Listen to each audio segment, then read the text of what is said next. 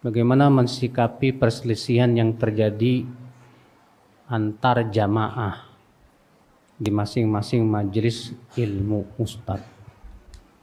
Apa cukup bersikap netral? Kita lihat nih jenis perselisihannya apa. Karena setiap perselisihan harus kita sikapi dengan tegas, Pak. Ada perselisihan yang sifatnya ijtihadiyah yang memang tidak ada nasnya. Ustadz satu berijtihad berpendapat seperti ini, ustadz yang lain berijtihad berpendapat seperti ini. Maka yang seperti ini tidak boleh menyebabkan perselisihan. Tidak boleh menyebabkan apa? Perselisihan. Hanya karena antum ngebela ustadz ini, Kemudian antum ngefans sama ustadz ini gara-gara itu jadi berantem.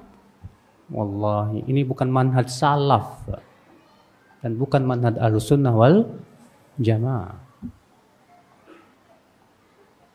Lihat para ulama. Imam Syafi'i dan Imam Ahmad. Padahal Imam Syafi'i murid gurunya Imam Ahmad. Sering kali Imam, Imam Ahmad menyelisih Imam Syafi'i. Bahkan terkadang terjadi dialog di antara mereka. Seperti Imam Syafi'i pernah berdebat dengan Imam Ahmad tentang masalah hukum orang yang meninggalkan so, sholat. Kata Imam Syafi'i, Hai Ahmad, sampai kepadaku bahwa engkau mengkafirkan orang yang meninggalkan sholat. Kata Imam Ahmad, betul. Lalu bagaimana dia bersyahadatnya ketika dia mau masuk Islam? Ya, Sementara di bukankah waktu apa namanya sholat itu dia tetap melakukan dua kalimat syahadat? Itu ya dialog ini masyur. Tapi apakah kemudian gara-gara itu Imam Syafi'i sama Imam Ahmad jadi bermusuhan? Hmm, enggak. Imam Syafi'i padahal gu, gu, muridnya Imam Malik, Pak. Tapi Imam Syafi'i sering kali menyelisih pendapat gurunya Imam Malik. Tapi apakah menyebabkan Imam Syafi'i benci kepada gurunya kepada Imam Malik atau memberikan permusuhan kepada murid-muridnya yang lain? Tidak.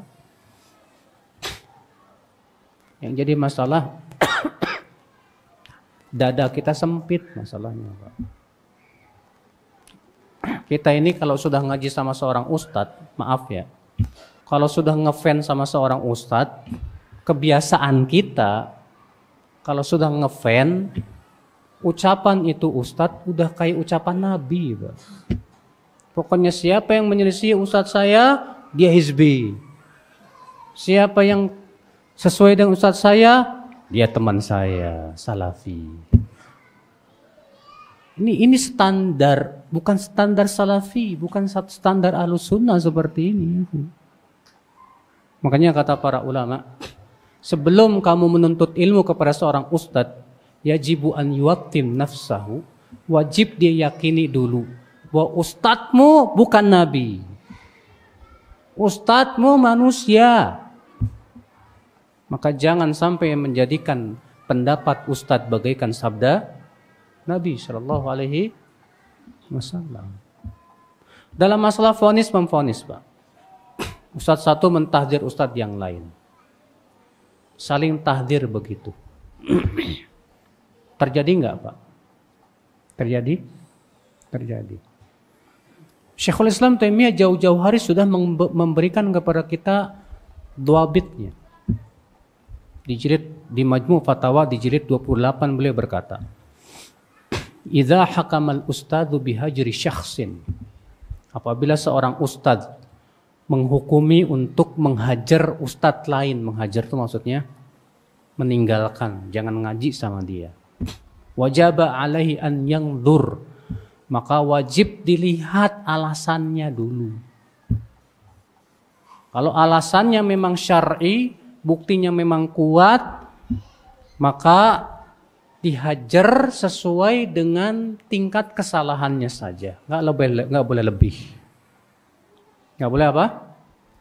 Dihukumi sesuai dengan tingkat kesalahannya saja, jangan lebih. Selesai.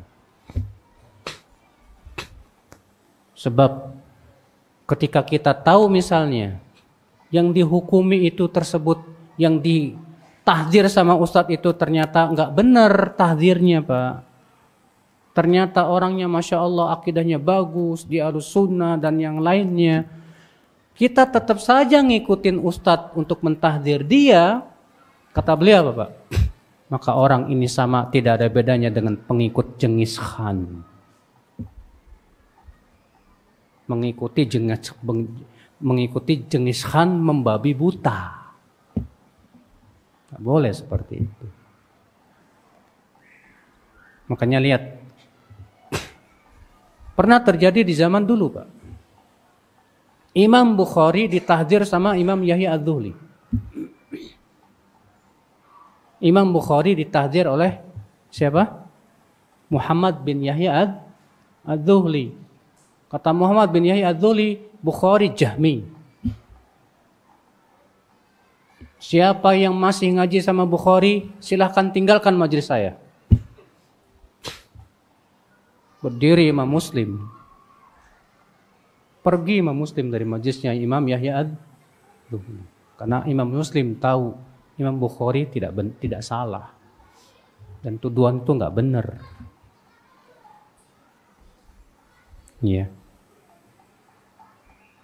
Tapi subhanallah, salutnya kita kepada Imam Bukhari apa, Pak? Beliau tidak men, tidak membalas tahdiran dengan tahdiran. Ada orang berkata, kamu jangan samakan Imam Yahya Adzuli dengan Ustadz zaman sekarang, kita tidak sedang menyamakan orang per orang, bukan. Tapi kita sedang menyamakan sisi perbuatannya yang sama-sama serampangan dalam mentahdir. Imam Yahya Adzuli mentahdir Imam Bukhari tanpa tabayun dulu. Langsung ditahdir begitu saja. Tapi subhanallah Imam Bukhari tidak membalas tahdirnya. Bahkan Imam Bukhari walaupun beliau ditahdir sama Yahya Adzuli, Pak, beliau tetap mengeluarkan hadis-hadis Yahya Adzuli dalam Sahih Bukhari. Imam Muslim beliau membela Imam Bukhari dalam hal ini karena tahu kalau gurunya tidak salah.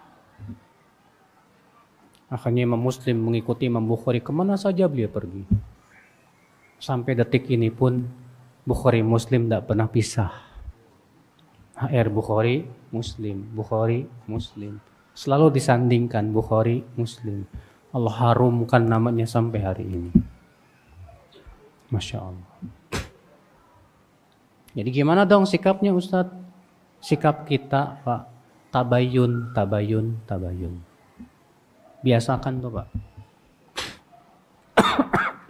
Allah mengatakan ya ayyuhalladzina amanu in ja'akum fasiqun binaba'in fatabayyanu. Biasakan tabayun. Ada ustadz mengatakan gini-gini, tabayun, tabayun. Kalau misalnya ustadz, ustadz yang ustadznya berantem dan kita tahu dua-duanya alusunnah, antum muridnya jangan ikut berantem. Itu urusan ustadz-ustadznya udah.